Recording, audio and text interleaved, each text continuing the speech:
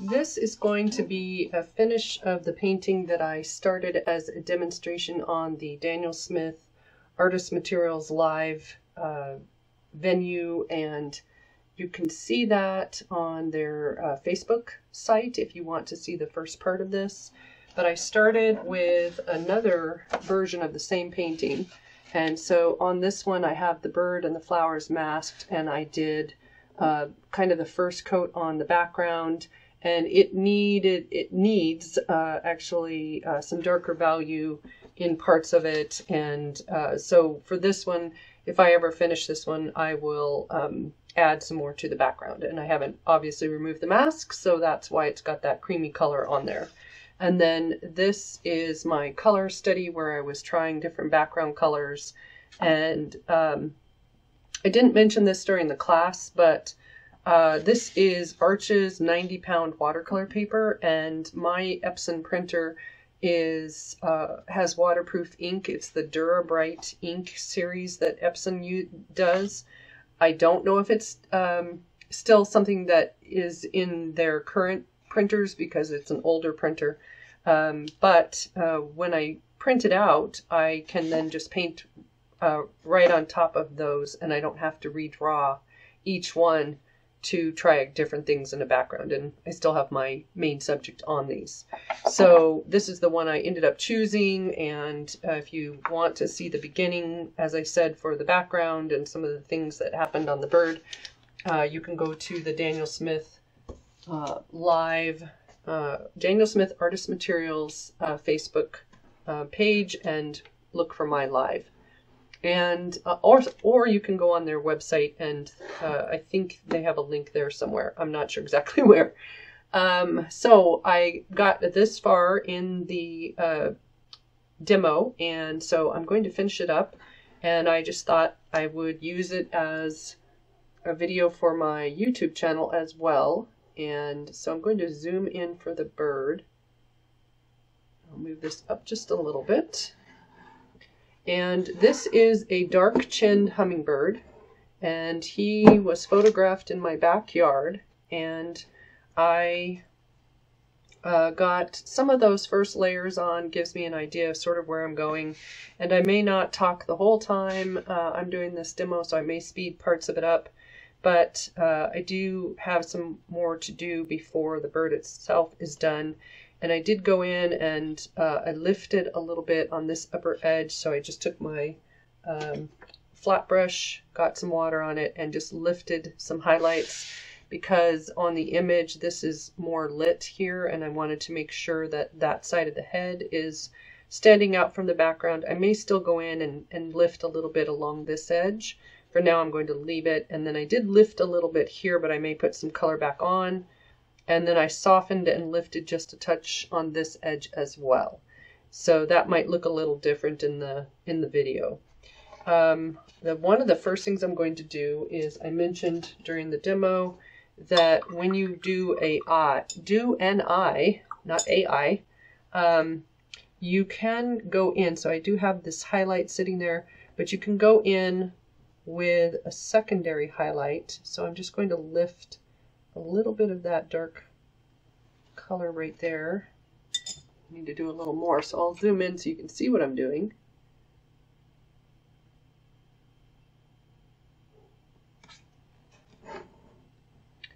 I'm going to lighten this just a touch more. Oops. Okay. And I need to get the pigment wet. So this is phthalo blue turquoise or phthalo uh, turquoise green shade with permanent alizarin crimson to make my make my dark, which is an almost black. And now I've got a secondary highlight right there. So I've got this one and I'm going to actually take my small round brush and just soften that edge just a little, make it a tiny bit smaller so it's not as strong. And now that eye um, has a little life to it because it's got that secondary highlight and I do have a few things around this side of the face. This feels too straight to me. It needs to have um, a little bit of that edge adjusted and so one of the things I will do is just wake up that side and see if I can lift back. And I am using my round brush because it has a good point and I'm not trying to move a lot of the color, but I do want to move some and just make that work better right there. Okay, and then maybe just a little along a couple places here. So sometimes just softening the edge a little bit here and there can make it feel more correct or less um, stiff maybe, just having a little bit of a blurry edge here and there. And I think I also want to come back with a little bit more color. There's just a touch of color right down in here.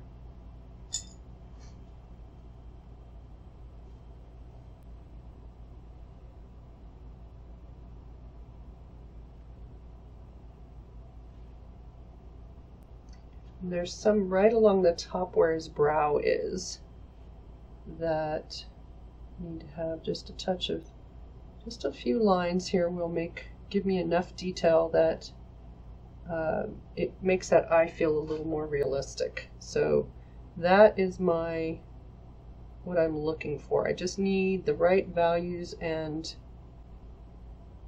um, sometimes shapes around an area to make it feel correct.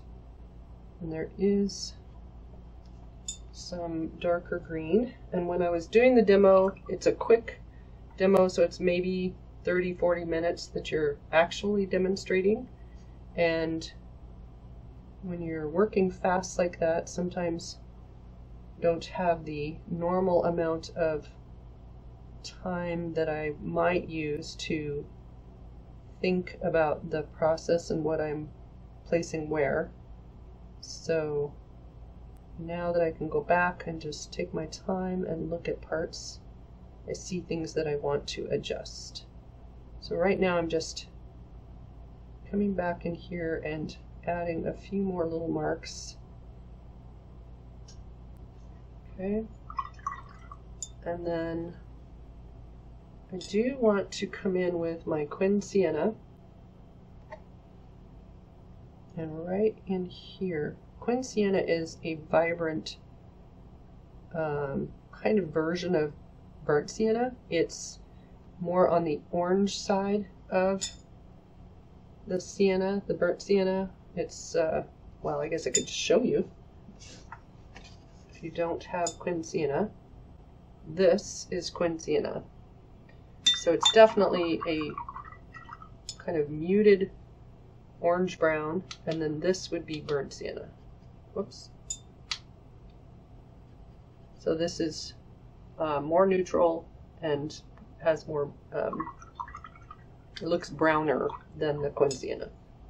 But I treat my Quin Sienna both kind of as a muted orange and um, I leave it in my the brown side of my palette so it can serve multi-purposes. Okay, so I'm going in with this in between some of these greens because along the top of the head on this side, some of these feathers have a more vibrant kind of orange-brown feel to them over here. They're not catching as much light and so I want some of that rustier brown look to some parts of this. So just work this in a little bit. And then uh, my shadow area, just so that I have uh, some of these feathers so I can see some of the shape of the feathers a little more. I am going back in and just gently waking up the pigment and pulling out some highlights. So I'm not trying to get rid of the um, overall feel of the shadow, but I want to just define some of the shapes of these feathers a little.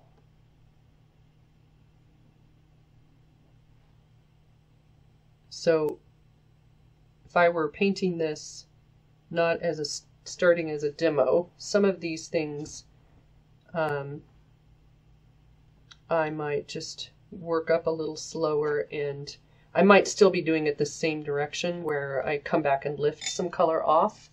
Um, but it also might just be something where I uh, paint a little slower and possibly the process might be a touch different. It is very interesting to try to go fast though. Okay, um, so I do know that I want to come in with a little bit of a olivey green. So this is uh, Quin Gold and my uh, ultramarine turquoise. And I'm warming up a few of these feathers on this side. And I want to do the same over here. Some of those areas that I pulled the color back off of a little bit, um, I'm warming up as well with this mix.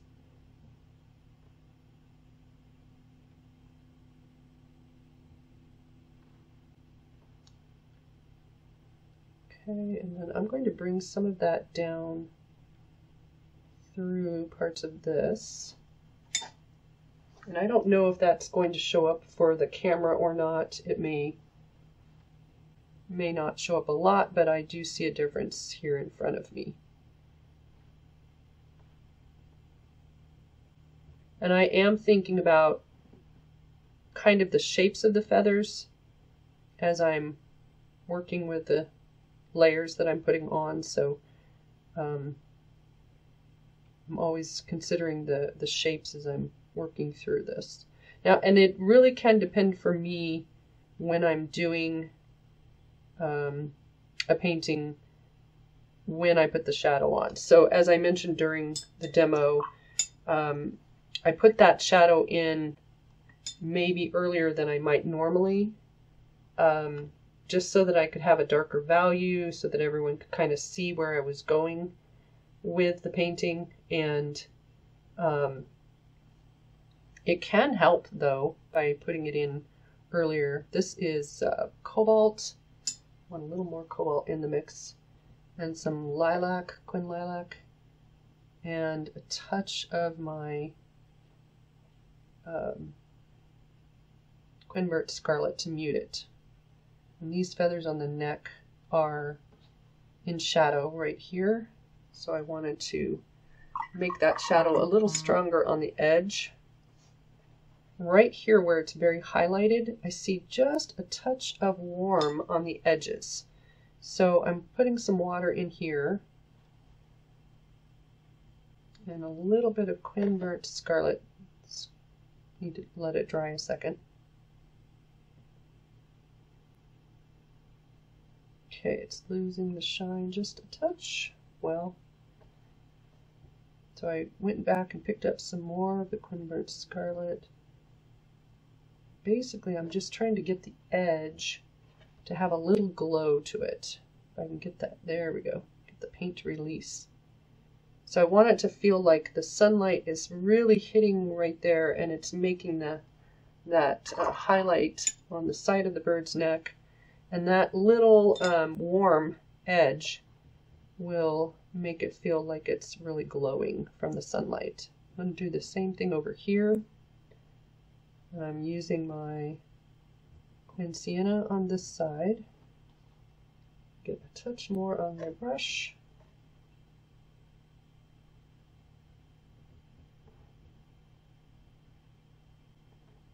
And I'll just go along these shapes. Get some Quin Sienna in here. Along this shoulder too. There's a nice little warm patch there. And then I will use that in between some of these greens. And as I mentioned during the live demo, um, some of these first layers, even if I have to come back and darken them later, gives me an idea of where I want to put all those shapes and what's happening on the bird. Okay. I'm going to switch. Oh, actually I want, so I picked up um, Quin Burnt Scarlet and some of the Indanthrone, so my kind of darker muted brown, and I'm going to go over and then pick up a little bit of that ultramarine turquoise because some of the shapes right in here on the pattern on the bird's throat are greenish, but they're muted. So I wanted some of that uh, Scarlet and Indanthrone in my mix that I'm now using.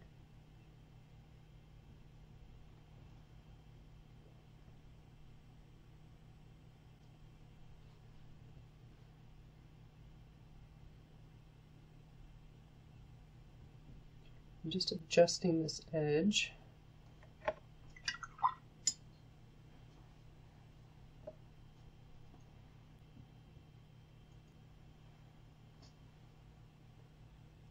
Okay, so there are a few darker shapes where there's smaller feathers on this edge and I want to just add a little bit of that now while I'm zoomed in. And then I'll zoom out and move on.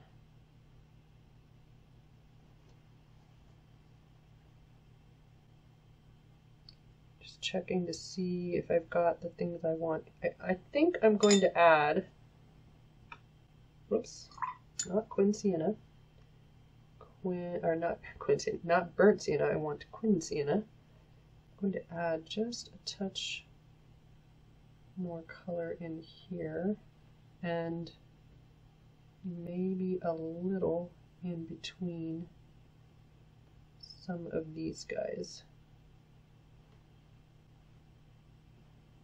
Um, the feathers on top of the head, those green feathers right here, they are just a little bit too dark.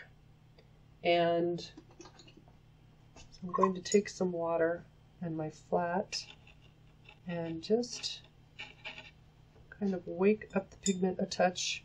So I want, I am going sort of in the shape those feathers are as well. I'm not trying to be too random removing or lifting. I'm go with the shape of the feather. And uh, I want to pull some of this back because I want it to feel like the top of the head is really glowing from the sunlight.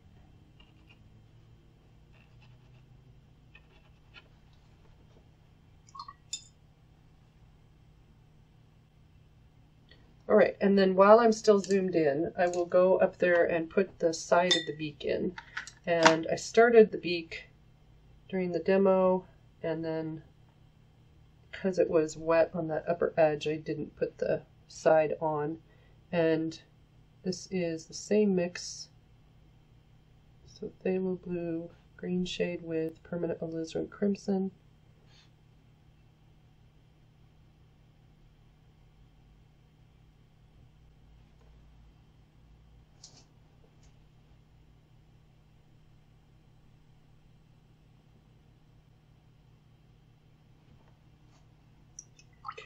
And then at the very center of the top of the beak, right up in here, there's just a little bit of a darker area. So need to come in with a touch more color though.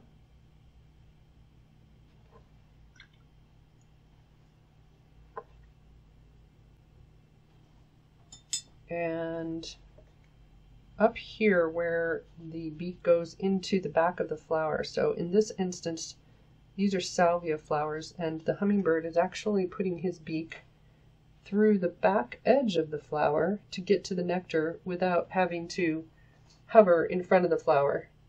And I saw them do this same kind of thing with some uh, zinnias and uh, my dahlias.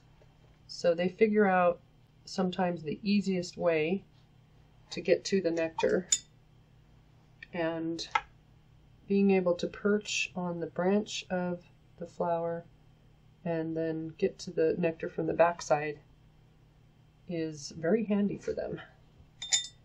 Okay, and I wonder, I think I want to take off, there's a little bit of a dark value from the background right here, and I think I'm going to lift that back if I can.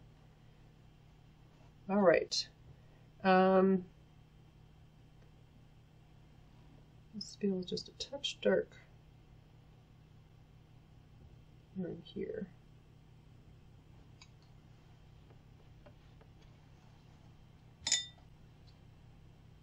And I think I want to add just a little more shadow.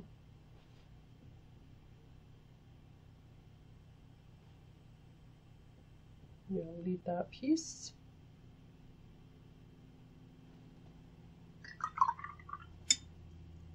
Okay, I will zoom out.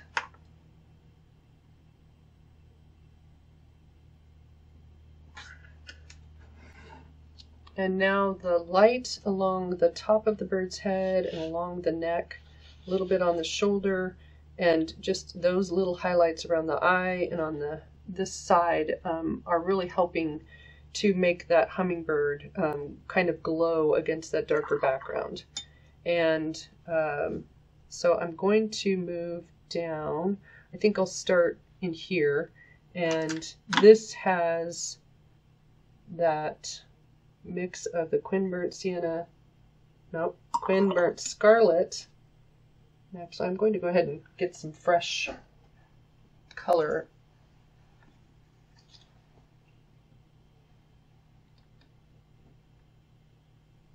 And same thing for the green gold.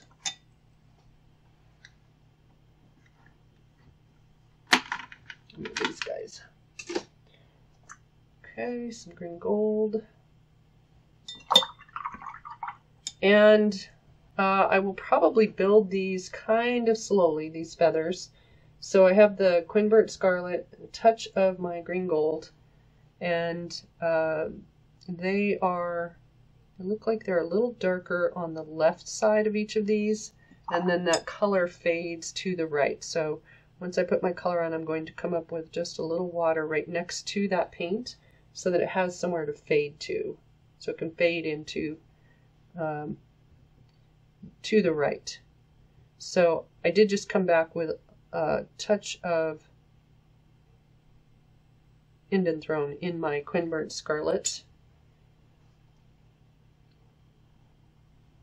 And a little more green gold. Okay, and then I will fade it to the right.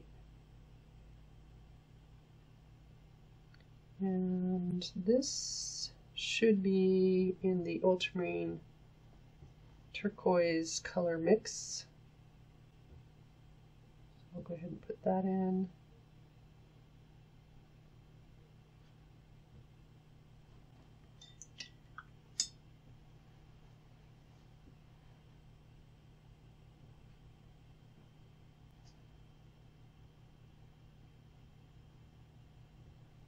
And I kind of feel like I have enough of the first layer. So right now I'm just coming in with the darker value. So I'm not, I didn't add any green gold to this. I just wanted a little more of a neutral mix. So it's the Indanthrone and Quin Burnt Scarlet.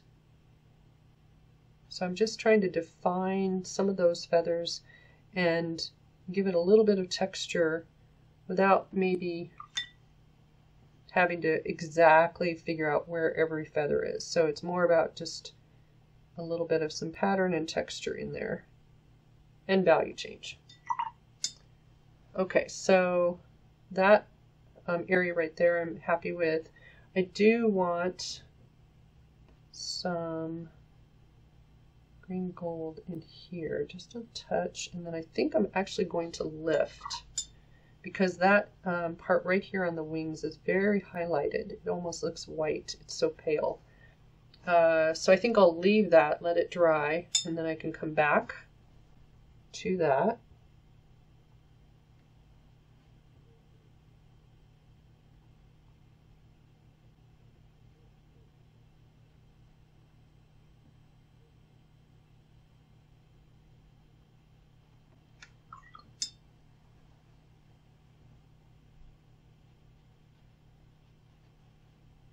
Okay. And on the demo, I did this area of the wing as just kind of one pass of color as my first layer. And now I'm going to come back and start dividing it a little bit into feathers, finding those shapes. And I don't need it to be a lot darker, so some of this is just going to be a few marks here and there.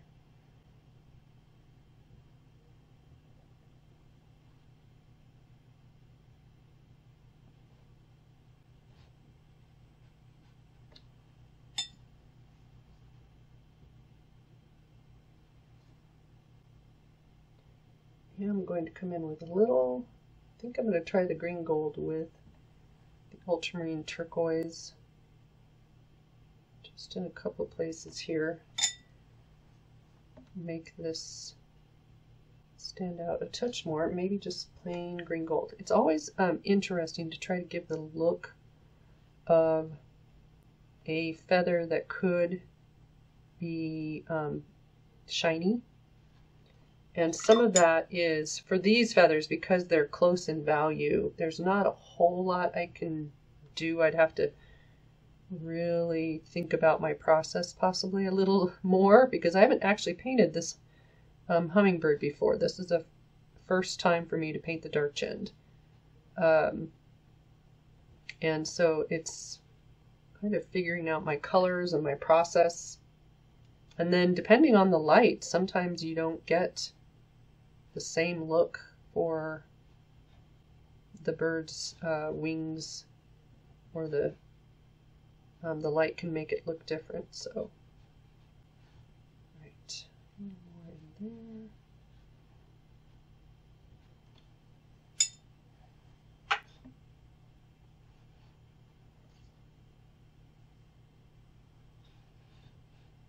Now, when I was doing the demo, I had my, I think it was my 16 brush in my hand, and I was using it in this area to um, do these shapes and I kept going with it just because I already had it in my hand and it was um, had paint on it.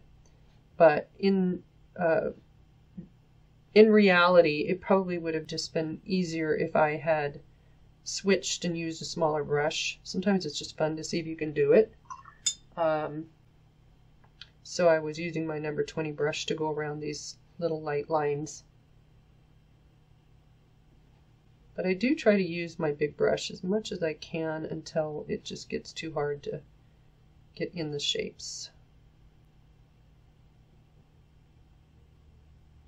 And the reason for that is because it holds a lot of pigment and water, so I can keep going for quite a while and not have to refill my brush, but also can keep me from getting too um, detailed too quickly now on this painting I kind of had to get down into the little details a little faster than I might normally. I'm going back and adding a little more color up in here. So the darker values, we need those in order to make the lighter parts of our paintings really stand out as light areas. So as they say, you can't have the light without the dark. So um, I need to at some point get in some darker values in order to see if my lighter values are light enough or if I need to lift or if I need to darken the area around them. Just going back and making sure this left edge on these feathers is standing out because it's the darker edge. Or left edge. Oh my gosh. The right side.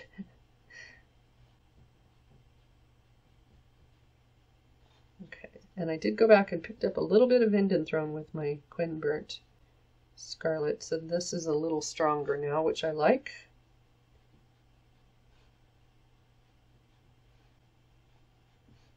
Okay.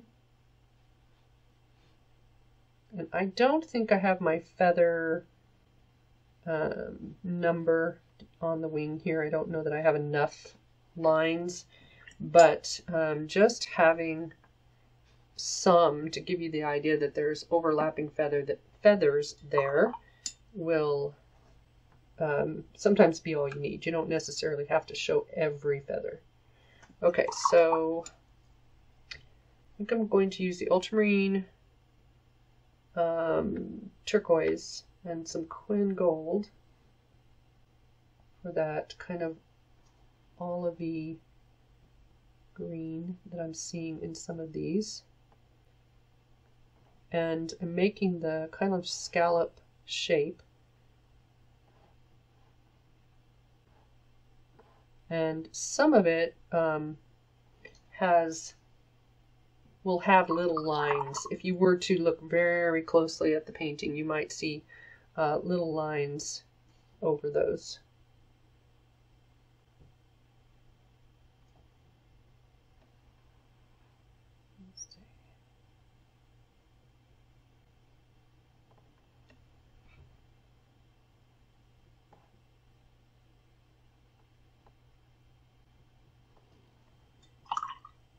Okay.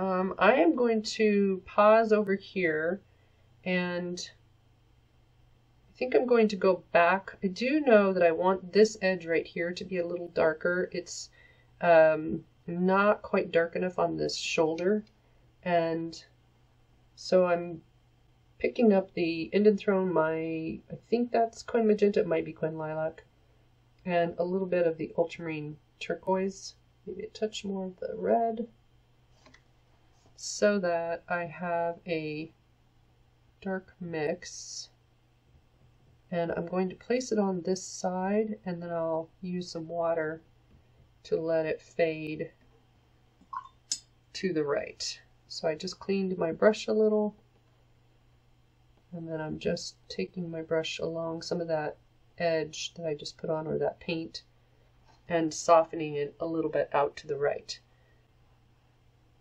All right, and then I think I'm going to use some of that similar mix to come in under some of these feathers that are in the shadow area. And I will use that to help find some of their shapes. Because hummingbirds have really nice overlapping feathers. They get this darker value under the feather that gives the look of that um, kind of scalloped feel to it. All right, so I'm liking that better. definitely needed that in the shadow.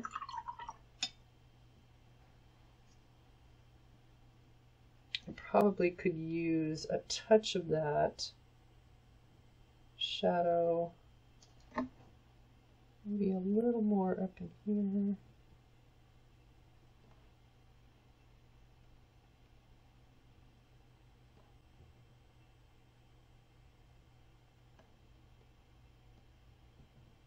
here. Okay. That's better. And feathers right here need to go a little darker. There's a touch of a darker, a little darker value right here on this edge, and that's going to help it feel like this part of the shoulder is a little more lit. Okay. And so I think I'm going to come down in here. Um, maybe I'll go here first. And Quin Gold and some of the ultramarine turquoise. And actually, I'm seeing a kind of a muted brown in places too, so I will be coming back over the parts of this.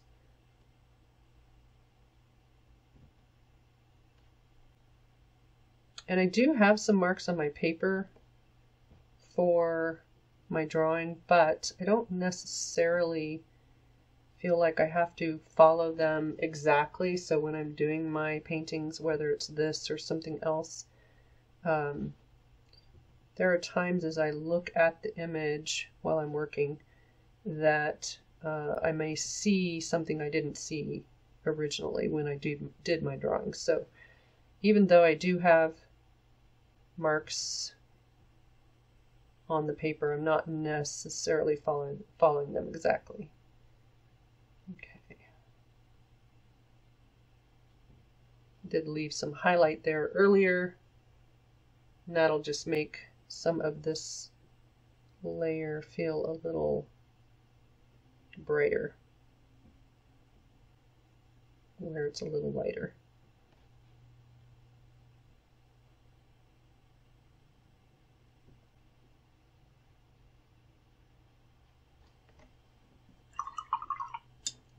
Okay, so I got a first layer on there, and then I can come back later with a little bit of more of a darker value and a muted color on some of those.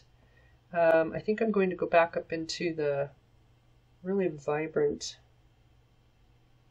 ultramarine turquoisey feathers in here. Now there is actually, it's probably right about here, a very highlighted um, brighter area where the feathers are catching the light. And so before I paint in there, I need, where did I put it?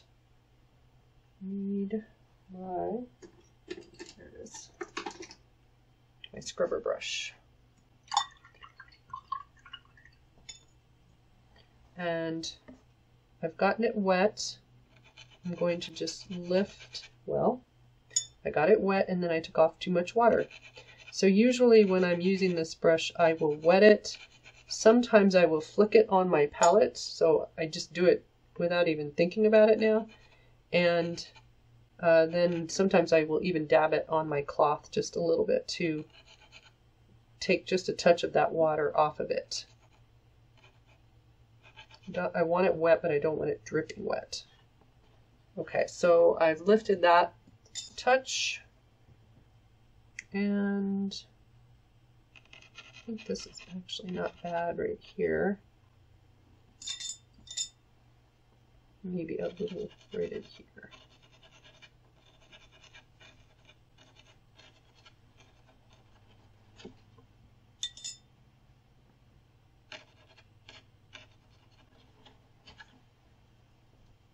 Okay.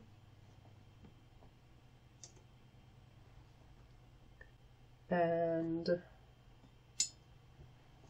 um, I did start this area in the demo with a little bit of a that muted brownish color with the Quinburnt Scarlet and my Indanthrone, but it does have some of the ultramarine turquoise that's kind of running through here as well.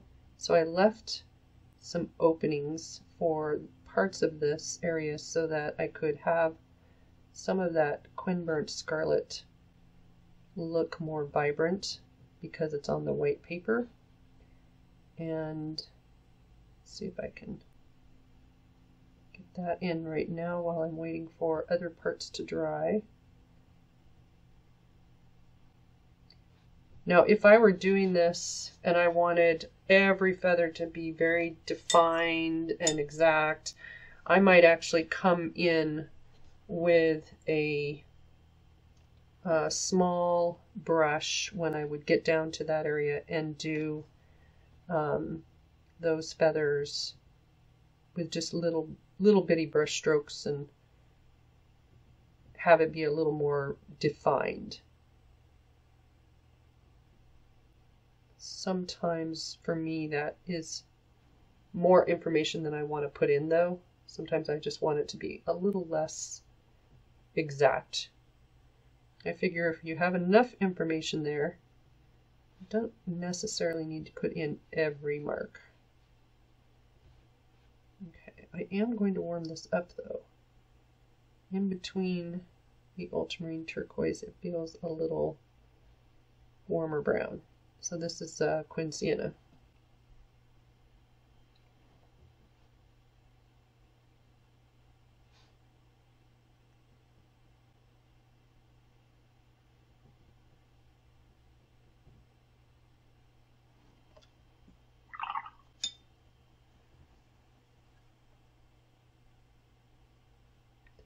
Clean this up just a touch. Went a little too high with that. And this should be dry enough now. Uh, I think I'll use, I'm going to try the Quin Sienna with some of the green gold. So it mutes the Quin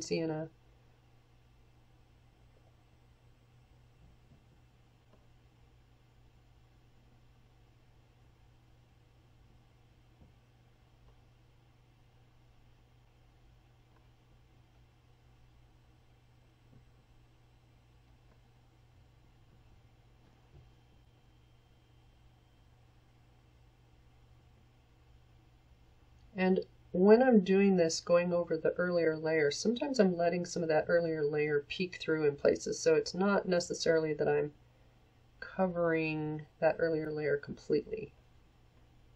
And if you were to zoom in on a hummingbird, the feathers, you would see all the, the little pieces and parts. Aha, and I just saw something. This green edge right here, it's a little too strong.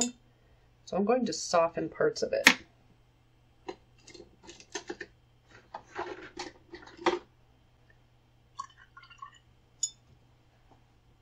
So I'm using my uh,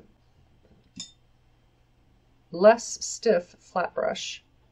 These are um, Royal brand or Royal Langnickel uh, brushes and I just get them at my craft store actually, but you can buy them online.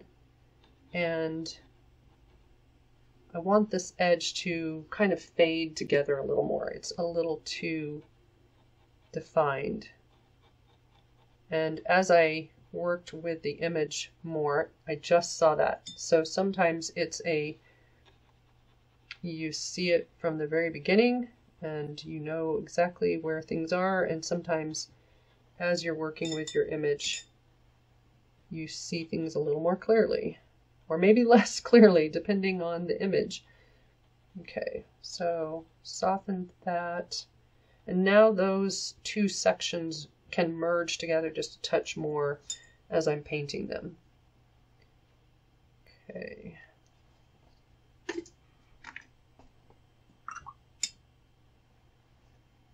So right up here on this feather that I said was more highlighted, I'm going to yeah, I think I'll try this brush. I was going to say I'm going to switch brushes, but I'm going to come in with my ultramarine turquoise just straight and lift, or not lift, place some color on there and uh, make some of these uh, highlights and darker value areas by leaving some of the openings in there. And then I can just come in and define some of this as well.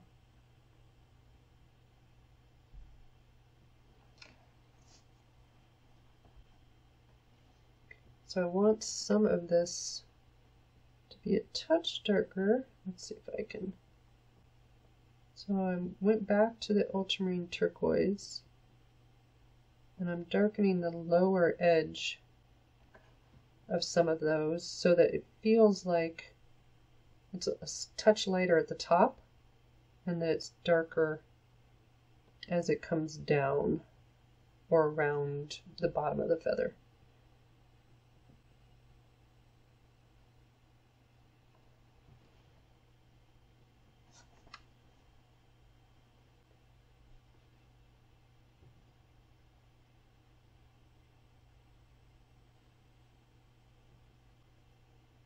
Now because my feathers are not exactly like the back of that bird, I'm sort of creating the same look, but I'm not, as I said earlier, not worried about making it exactly every feather that I'm seeing. This um, little white area that I left earlier, I'm going to actually soften that out. So I don't want it to be a hard-edged shape right there. So just taking some water and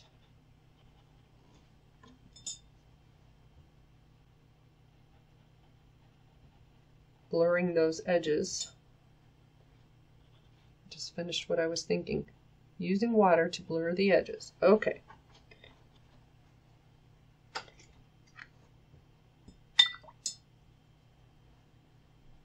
And then I think I'll go over here since I just wet that area.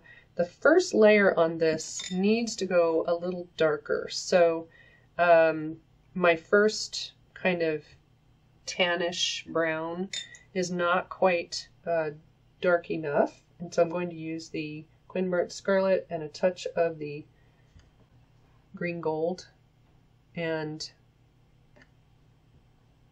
come back in. And I don't necessarily want it to be too rusty color because it's not necessarily that rusty. So I went back and got a little more green gold on my brush. And I'm going to have some of that mix go across into this area.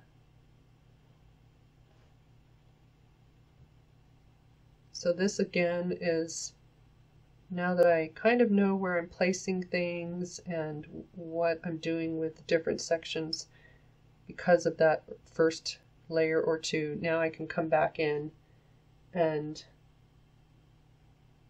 add more color, just start to build it. And this feather right here, while it is does have a little bit of a lighter edge, it will need to go, uh, a lot of it will go darker.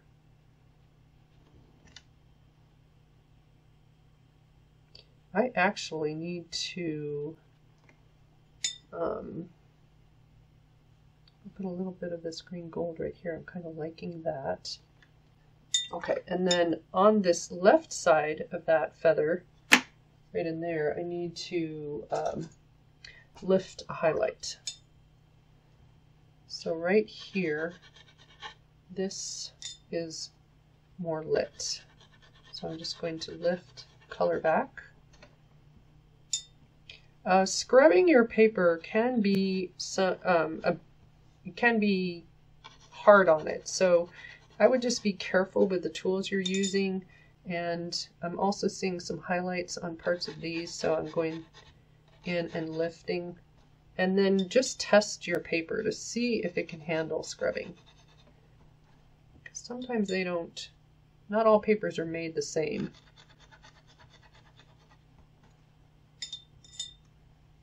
Um, and then my highlighted edges that are there, I will probably come in with a brush later. I'll lift part of this back. Um, and go back up to these guys. I said I was going to lift a little in here. But I will probably go in with a brush and some water and just blur those edges just a touch because they're um, very hard edged and very strong right now. maybe just a touch on some of these.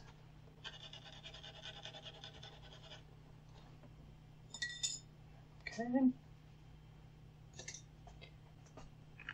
And I think I'm going to dry that. All right, so I've dried that, and now I can come back in with the ultramarine turquoise, or I can go back into this area. Um, I think I'll start with the ultramarine turquoise. and just pick out a little more.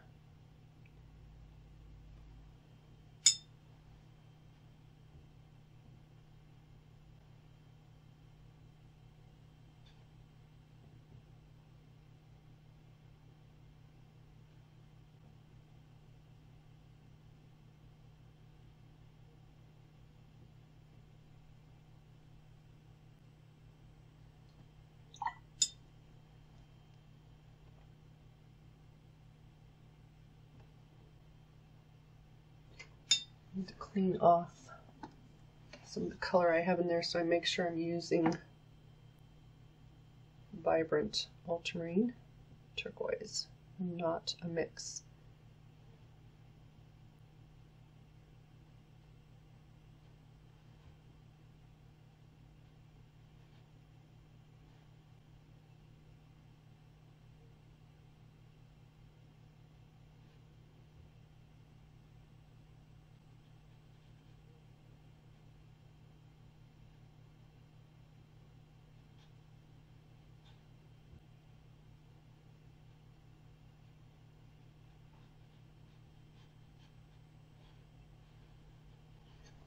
Okay. Now there is on this feather, the center of the feather looks like it's ultramarine turquoise and then it's kind of a mix of colors that are kind of fluorescent on either side.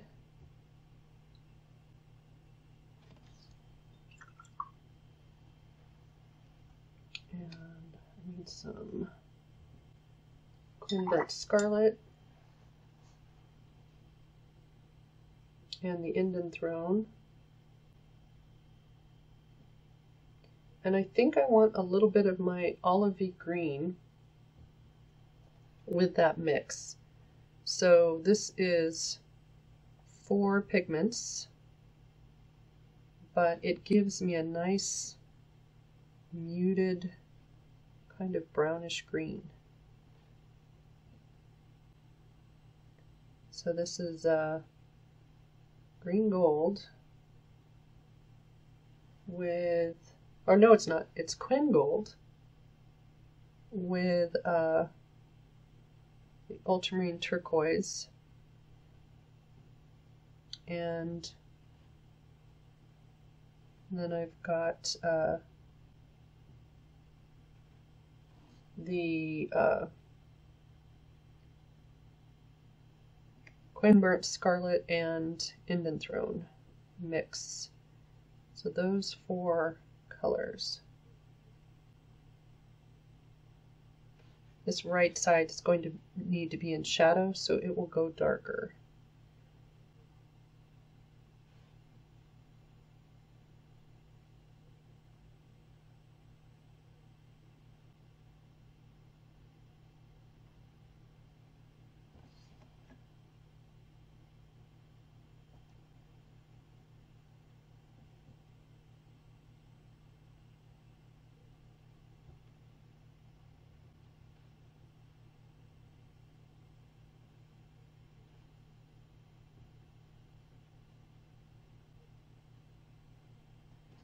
Okay, so on that right side, I'm going to use Quin Burnt Scarlet and my Indanthrone mix. And I'll go ahead and get that in.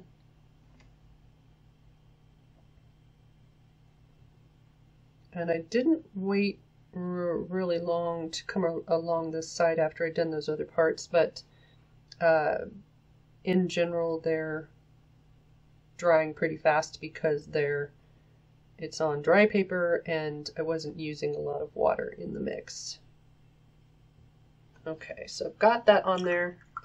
And then I do want to add a little bit of the ultramarine turquoise, but I'm going to dry it right quick.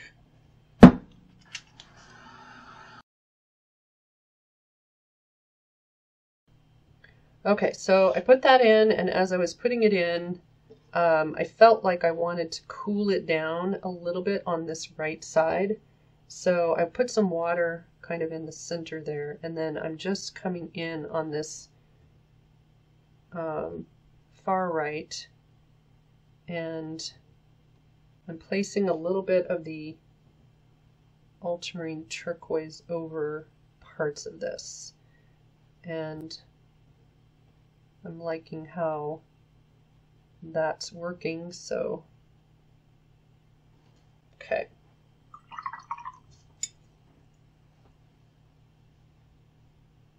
All right, uh, so under this feather right here, and possibly others, but that's the one I'm mostly seeing right now, I'm going to use the uh, Quinburnt Scarlet, Ultramarine, uh, I mean, uh, oh my gosh, Quinburnt Scarlet and Indanthrone.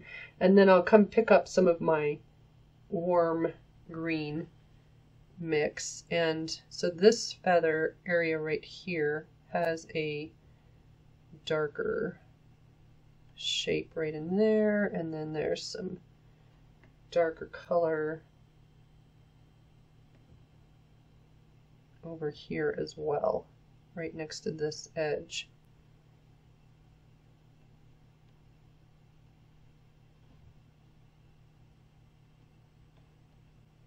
And so I'm just trying to find a little bit of the shadows still on some of those areas. I have not put the shadow in over here yet, so I could go do that right now. Um, Indanthrone, get some of that out, and then I'll use the Quinburnt Scarlet. Whoops, it's a lot of paint.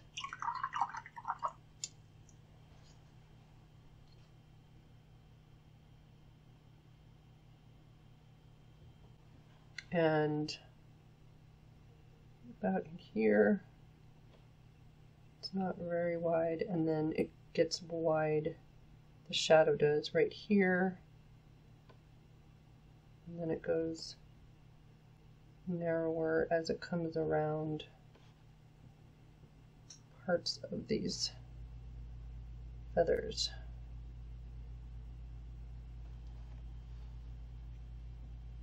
Okay, that shadow really starts to help give um, some depth to the back of the bird and also helps with the light. So it makes it feel like the bird is in bright light. So I really like having that in there now. And I may actually go over here and darken this shadow because it's even darker than what I have. One thing to be careful of though is your photos can often make the shadows feel uh, darker than they actually are. So um, even if my photo is is looking like a black shape, I don't necessarily, um, and most of the time I don't, make my photos or my photos, my shadows as dark as they are on the photo. And then it does come under, but I have to finish this feather first. And I do think I want to darken just a touch more right in there. Um, and then also, if you saw uh, this shadow area here um, prior um, as part of the demo or just when I started the video, uh, it was uh, didn't have a lot happening in it, but by going in and putting some slightly darker values under some of these feathers, it um, makes that shadow more interesting. So I'll zoom in so you can see that.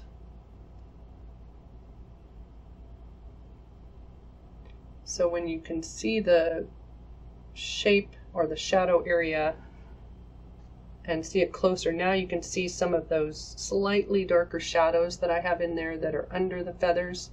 And so when you have a shadow on top of something, if uh, if that something has texture or pattern or whatever, coming in after you've placed the shadow in there and uh, adding some of that texture and possibly darker areas to uh, the shadow, it can make it feel more realistic. Like right here, I see a little bit of a shadow right there, and I want to lighten it as it comes out into the sunlight. I don't want it as dark as it might be over here. Um, so I think that's pretty good there. I do want just a touch more texture in a couple places here though, right along that edge. Okay. All right, so I'm going to zoom back out, or I'll move the camera. I always think that sounds so silly to zoom back out, because you zoom in. I will move it back out. All right, so the bird is starting to have feathers that are feeling more like hummingbird feathers. There's some texture, and some highlights. It's looking shiny and lifting some of those highlights in here is really important to make it feel shiny. Um, so now I'm going to go work over here on this side and uh, on this shoulder area where I was uh, before this um, side, this right side is very dark, which I definitely want that on there. And uh, but it kind of has a softer edge as it moves up. It's got some darker um, marks, but it's not uh, completely hard edged. I'm going to get out the ultramarine turquoise. I've got some quin gold, but I think I'll get a little more. And I will probably be using some of my Quin Burnt Scarlet and Indanthrone mix with this.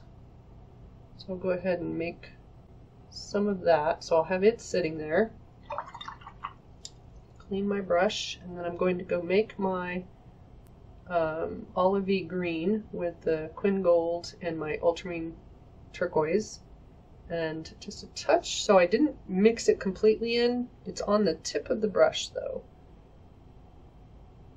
So this is going to be darker shape right there. I'm going to go pick up some more of the ultramarine turquoise so it's a little greener and then right along this edge, there's some highlights.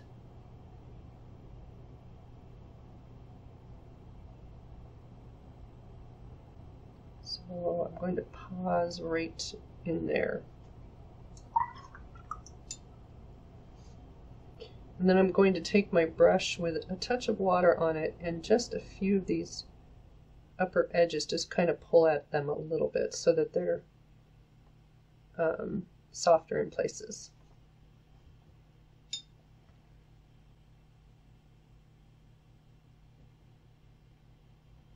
Using a little bit of that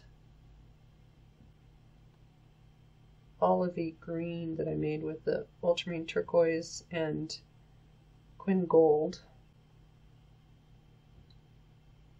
coming in there and then I did add a touch of burnt scarlet to it so it'll mute it just a little bit. So now that I'm coming in and focusing on this area, I'm kind of figuring out how I want to, what colors I want to use over in here and how I want it to um, work together with the other side. And there's a darker shape right there. This is a little cooler, but I don't, so I don't want it as light as I had it but I don't want it to go too dark either because it's pretty lit right there. A little bit of ultramarine turquoise, edge, and there. And then as I come to this left side of that shape, it gets a little, um, little brighter brown, a rustier color touch of that right there. And this um, piece that I'm doing right here is his wing.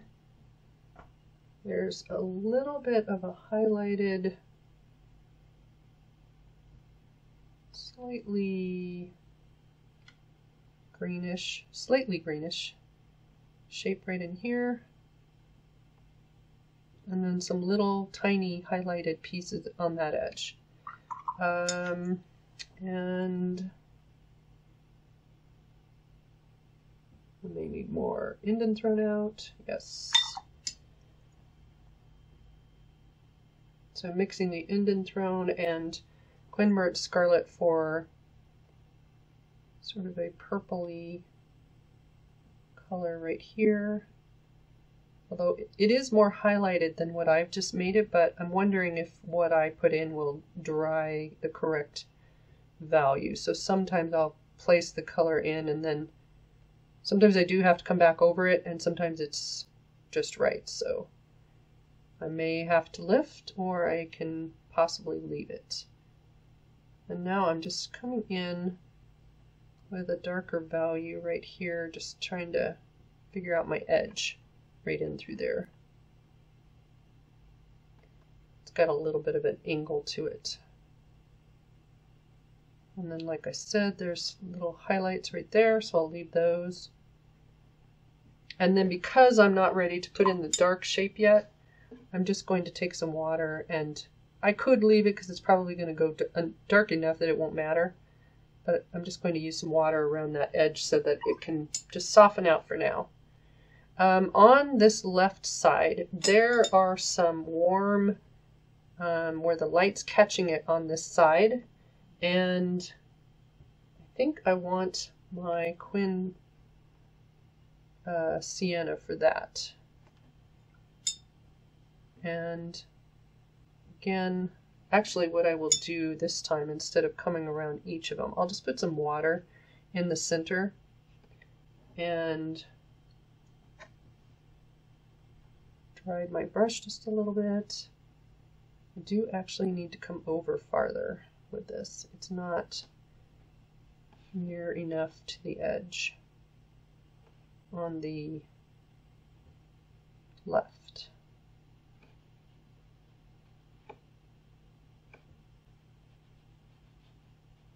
So I'm putting in some of that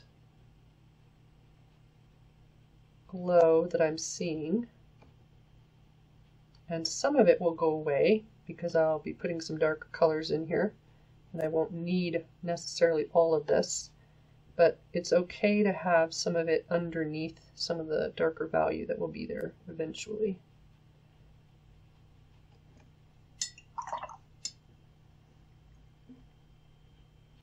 And I'll just fade that back.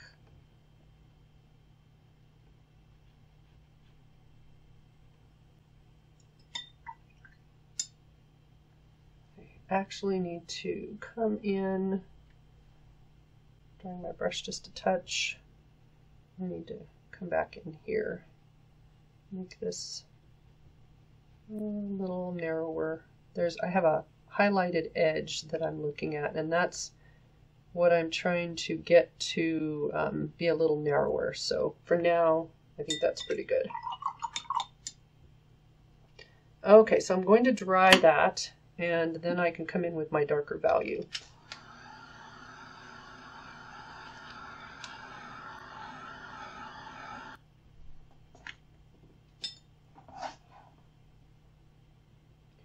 Getting out the Quin Sienna, and on this edge that I said looked a little warmer, and I used the Quin Burnt Scarlet at first, I wanted to warm it up even more, and so I put in a little bit of the Quin Sienna there. And then I can just fade it to the right with some water. And for the wing, I will have this brush sitting there in case I need it, but I'm going to uh, pick up my bigger brush, my number 12.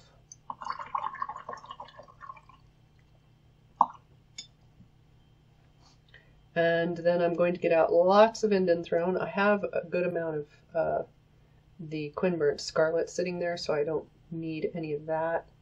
And basically I'm making a kind of a muted dark, um, either dark purple or dark brownish purple. If that made any sense, I do not know. Okay, I am coming back around parts of this.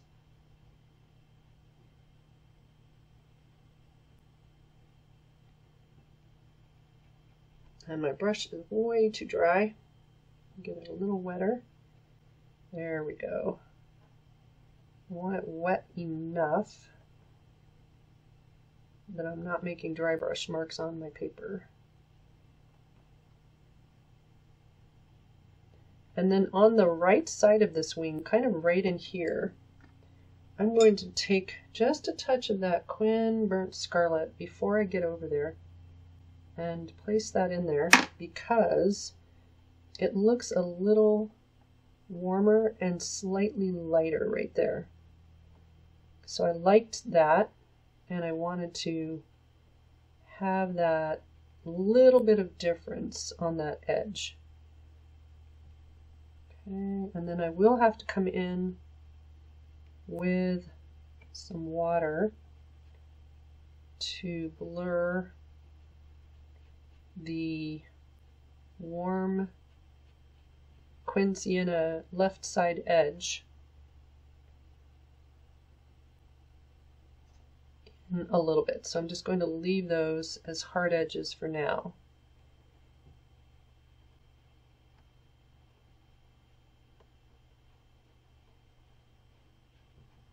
And I just want to make sure that far right edge is nice and dark so that it separates from the background.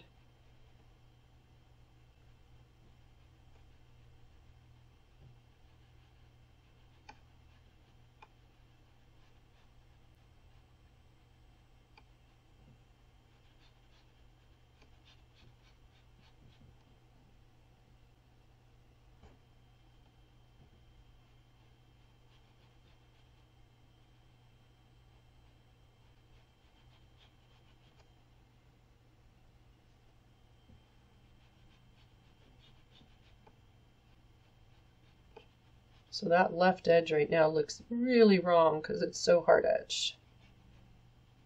But it's a good start because I can use water to blur it. Okay. Come down into here.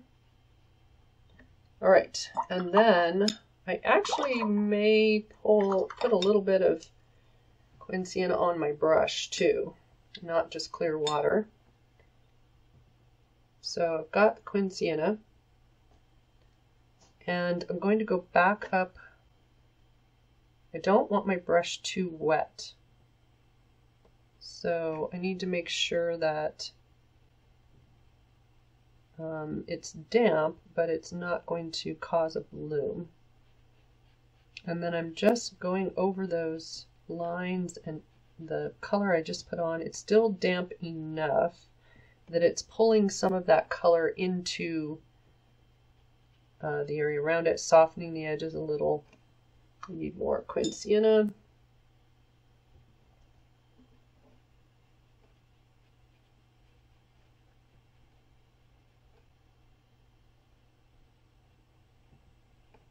And a touch down in here. And then I'm going to leave it. Um, this side right here is just a touch light. Even though it has that um, lighter shape that I wanted on there, I am going to come back and add a little more color and actually come up into this green section just a touch. And then I think I'm going to put on that right side a little more of the Quin Burnt Scarlet just to still have that color change, but I want that side to be darker because it's definitely out of the light.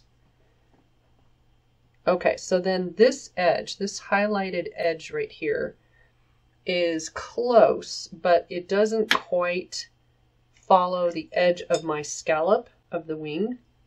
And so I need to adjust the shadow side on that far left.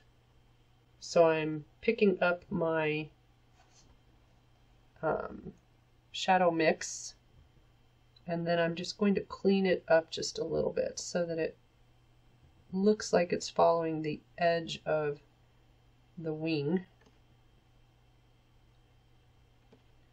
and it'll make more sense. Thin it out just a little bit Okay. Much better.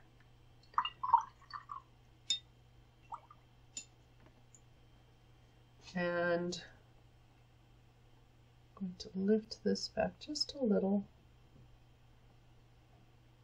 Now I don't have the same highlight over here that I'm seeing in the image. Um, for now, I'm not going to worry about it, but I may come back later and see if I can lift just a little bit right there. Some of those minor lights or minor touches here and there that you see on an image um, can make it feel more realistic. Uh, one of the th areas that I do want to lift though is right here where I had that brighter warm brown because I want that upper left part of it. Get a cleaner cloth here. Um, I want that to feel more lit than it was. All right, uh, I'm going to dry this and then I'll come back and I can start working on the bigger feathers at the bottom and the tail feather.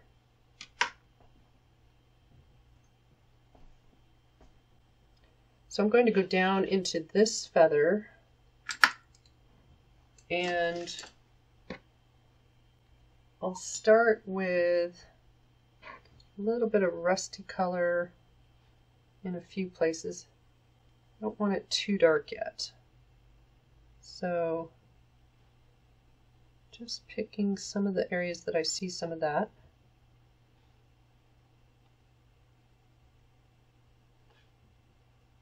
and possibly a little bit right in here. Maybe a little of the green gold here.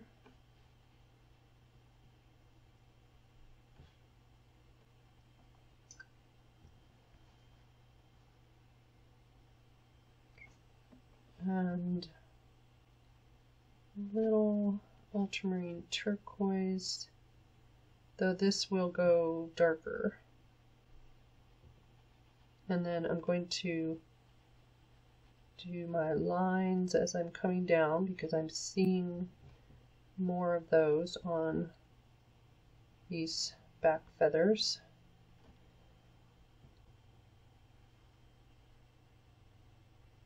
My brush is pretty dry right now. That's why I'm getting some skipping on the paper.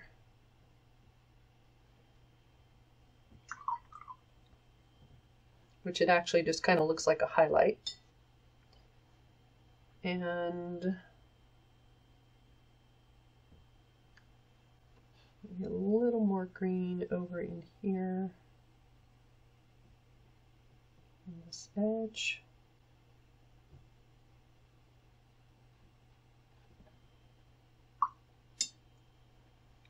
And then I'm going to go back to this lower section and I'm using the Quin Burnt Scarlet to darken around parts of that. And then I'll just see if I can kind of swipe with my brush to blur some of that together just a little. Okay, and now I need to go in and put the darker values on there. Um, and that darker value is that Quin Burnt Scarlet, Indanthrone, and then some of my kind of olivey green. And I need to dry that first.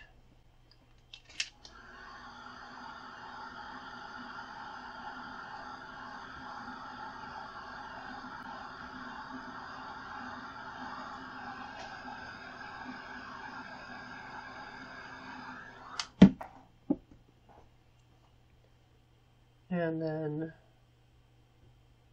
near the center part of that feather, I'm going to bring down a darker value with this color mix and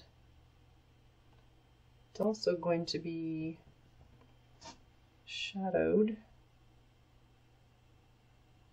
right here.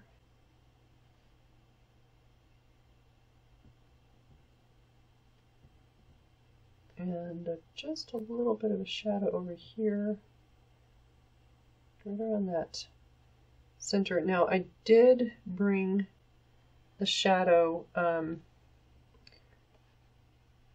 around it and made it uh, a little highlighted in the center because that's going to make that center shaft of the feather feel like it's standing up and a little uh, lighter than the area around it. And then I need to darken. Trying not to go over the center. Some of this.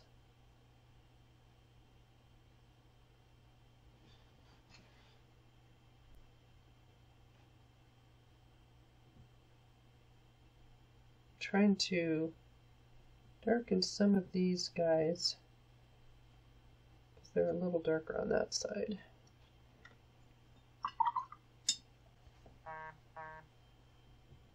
And then I see just a touch more of the warm on there.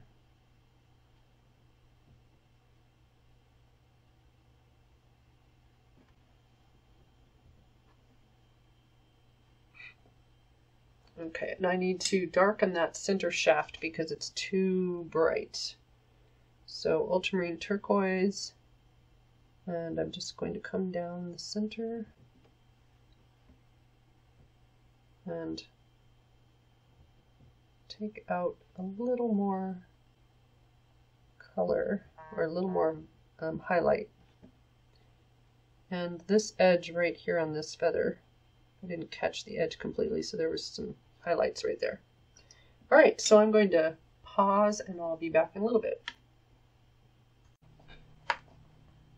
So the hummingbird is starting to feel much more realistic than when I started. And sometimes it just takes working through what you're working on. Okay, got a little that dark for the beak. I want to darken that lower edge mostly, but a little um, moving up in their spine. All right, and I'm going to come down here to this bottom my photo and I couldn't figure out what I did with it. Okay. So the bottom feather down here, actually the shadow on this needs to go darker, so I'll do that right quick.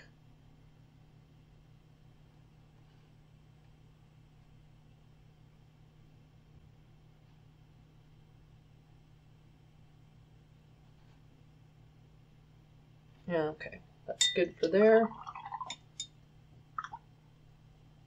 And there is a highlight on this feather, on the tail feather right here. And so I'm placing some water on the paper where the highlight will be. And then I'll let that sit for just a few seconds while I get out some paint. And on the right side, it kind of comes from this edge and it does skip over the paper a little bit. So the light has caught this feather and it's not uh, solid lines in through here. They're kind of broken up just a touch. Same thing. So my brush is a little drier and I need to go get a little bit of green gold on it as well. And then somewhere right in here or so, it starts to fill in.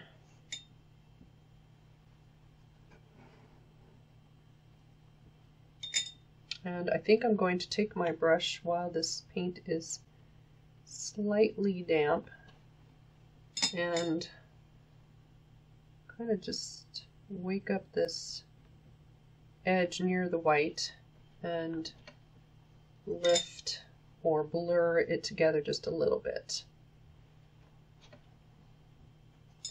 And then somewhere in a sort of muted green,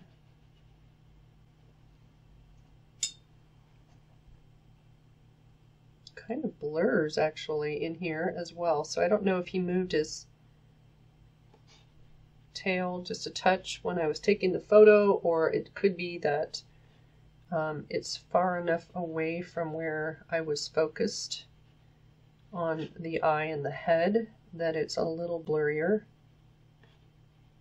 So kind of adds to the depth of the scene because it's not quite as in focus as the upper part of the bird. And then that's darker right up in there. Okay.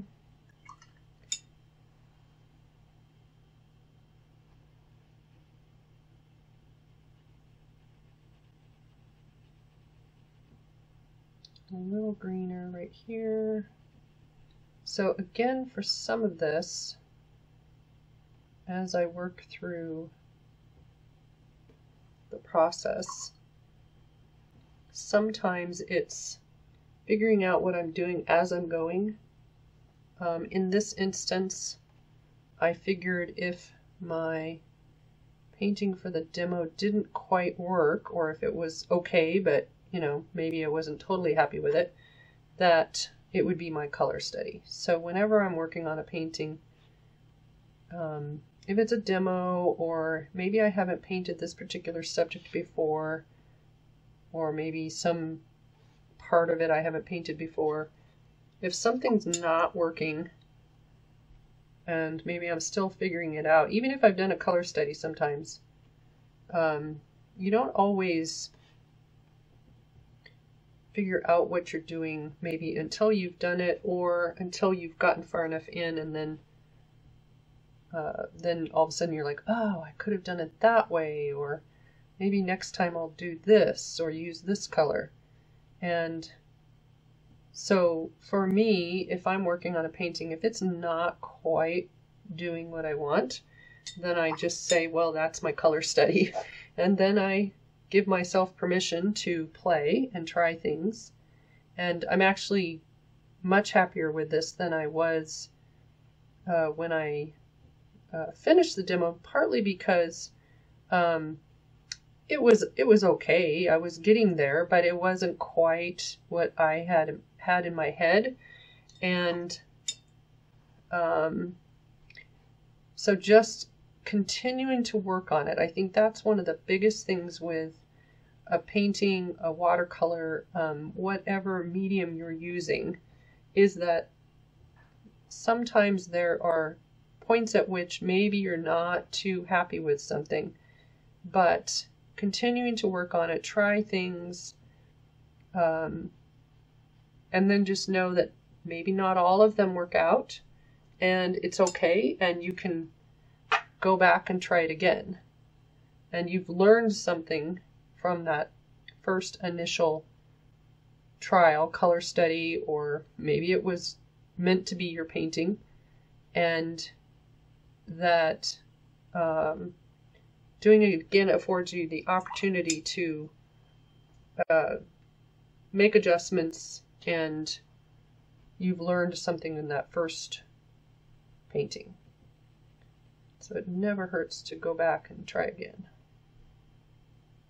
Okay, and part of it for me was, as I mentioned in the demo, this is the first time I've painted a black-chinned hummingbird. And so colors are slightly different than what I've used for other hummingbirds. This um, right side of this feather is, but it has a lot of the ultramarine turquoise in it as the lighter value. So I'm just going to paint that over this whole area and I'm watching that edge of my wing.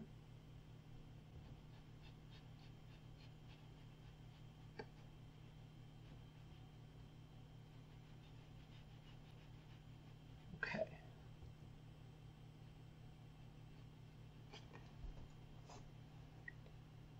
All right, so I'll leave that because that has to dry before I can put the darker value in there. It still has those lines that are darker coming in through here. So I'll come back in a little bit for that. Um, I can't, I guess I could put the darkest. There's uh, this lighter value which is in shadow, so it'll need some shadow. But then right next to it on this far right is a darker value and it's not touching the wing that I was just working on. So right here, there is a darker value. So I'll go ahead and put that edge in, and that helps separate um, this tail feather from the flower that's behind it, although the flower does have a shadow on it as well.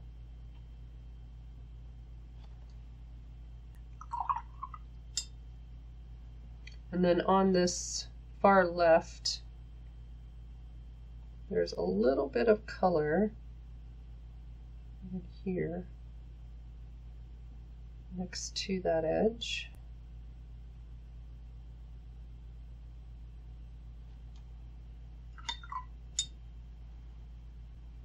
And I'm just going to fade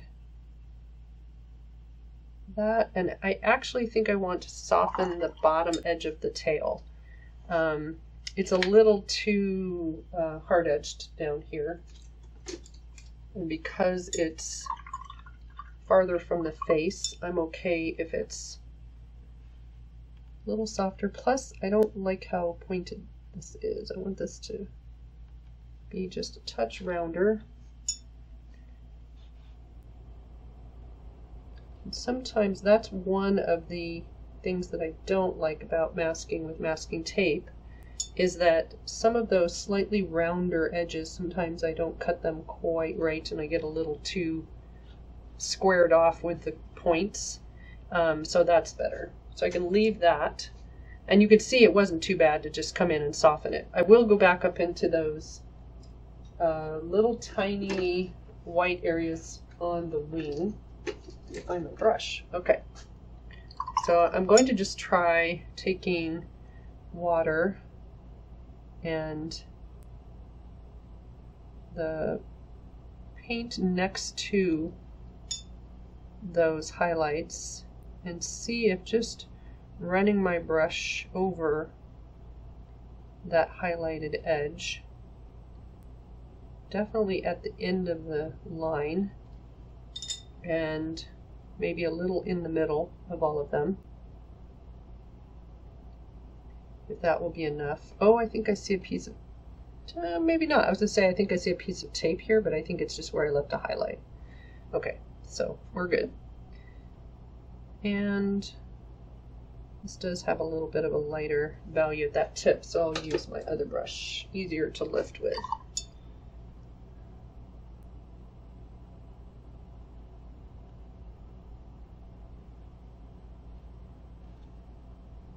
Okay. So those highlights on that far left are not quite as strong. If you still feel like they're standing out a little too much, you might try a flat brush to adjust those kinds of things.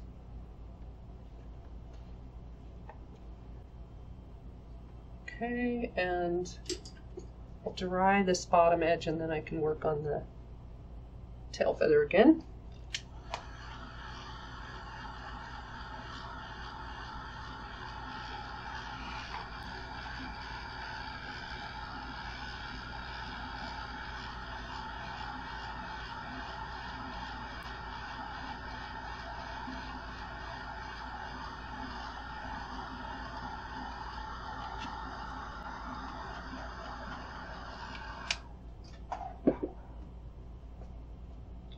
I see a little bit of a dark shape up by the neck, right here, where there's some a little bit of a longer feather and it's slightly in shadow, so I want to go ahead and put that in.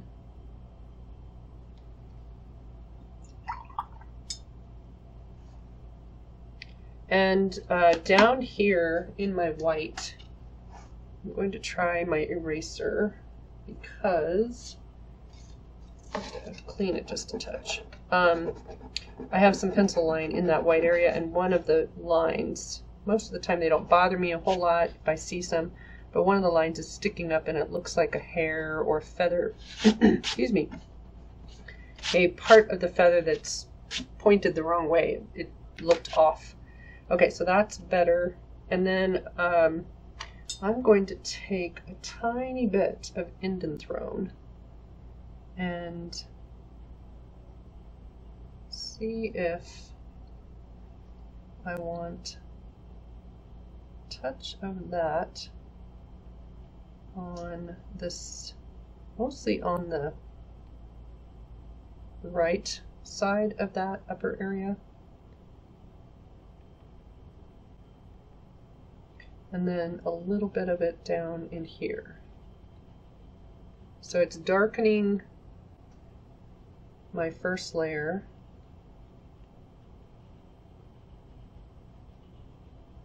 I'm giving a little more depth to that area. Okay, so this this side, I do want to go back and I need to um, darken that first layer again. It's not quite dark enough. And I think this time I might put a little Indanthrone with my ultra turquoise. And just come back over it. So this will be the lighter layer. Because it's in shadow, it's darker than what I had.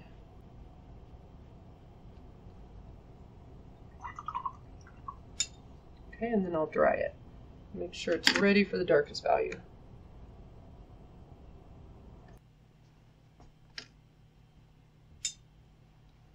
All right, so I uh, dried that, and I think I'm gonna see if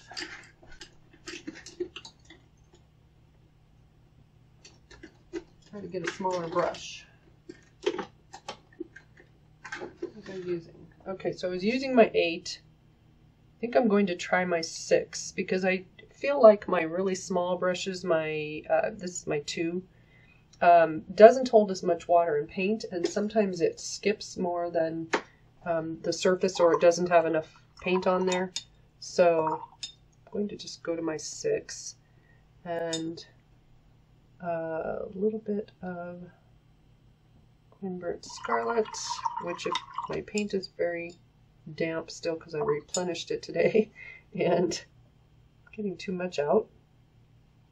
Alright, so I have the Indanthrone, Quin Scarlet, and I think I'll put just a little bit of my ultramarine turquoise with it.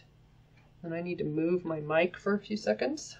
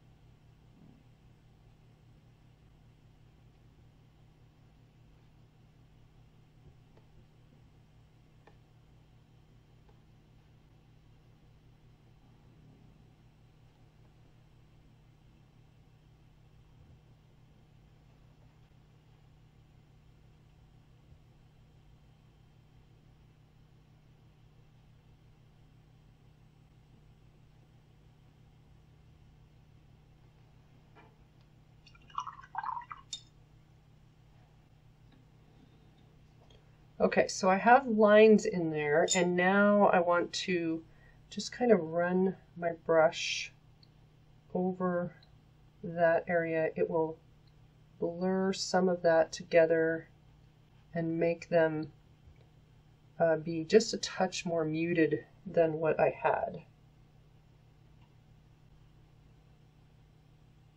Just a touch more color on this edge.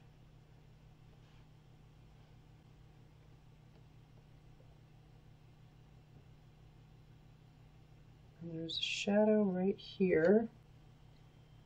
And the center of this feather has a touch of color on it, but it's not really strong. So I think I'll just take a little bit of my olivey green and just touch it in a couple places. And then it does have a shadow on either side. It also has a little bit of rusty color on it. I don't want it to be too um, just white sitting there. So I'll dry this.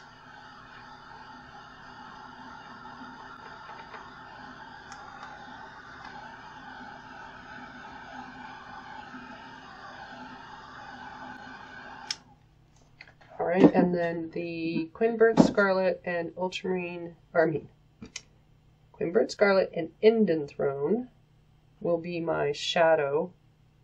And so I'm going to just bring that on this right side and a little under this feather. A little more Indanthrone in the mix. Touch on this side. And then I do see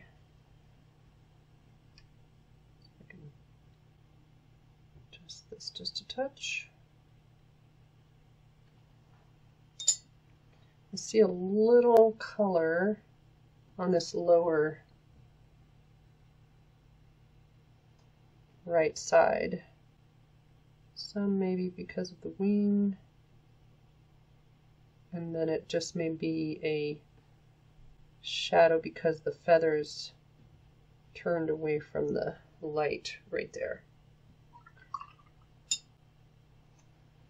All right, and then on the uh, white part of this feather, I'm going to use my cobalt and the cobalt and quin lilac and then a touch of the quin burnt scarlet in the mix. And that shadow is right in through here comes around there's a little bit here and there's a little bit of a white shape right there on this edge right there. So I'll leave that. And then this part of the wing, that highlight, is in shadow in parts of it. So I'm going to place a little, a little shadow in this lower piece for sure and maybe just a touch here and there so it's not all too stark white.